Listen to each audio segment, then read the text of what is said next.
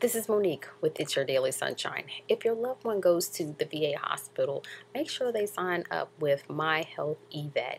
It's a great system to be able to communicate with your loved one's health healthcare team, the doctors, I think looking for appointments, pharmacy, um, and just not always depend on them to give you the information. You'll be able to, you know, log in yourself and kind of keep tabs on what's going on and for you know some surprises because you know we're so busy we all forget about little things. So go ahead and get signed up.